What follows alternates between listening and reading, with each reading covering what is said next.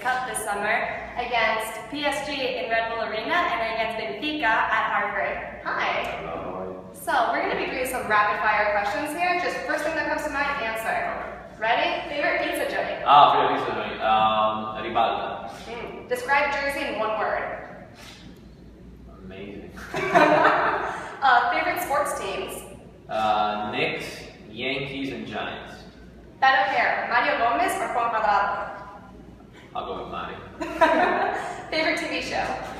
Favorite TV show, Friends. Weirdest fan encounter? Weird. Um, weirdest fan encounter. I've had a few. I don't too many. nice, nice. Pre-game pump-up song. Pre-game pump-up song. I like to listen to Eminem, My Love. Nice. Go-to celebration after when? Goal celebration? They're always dedicated to my pops. Aww. Favorite career moment? Favorite career moment was definitely my debut when I was a kid at 17. Jersey Shore or Atlantic City? Oh, man, that's tough. AC because I like to hit the slot. um, go to FIFA team. Go to FIFA team, Fiorentina. Funniest teammate.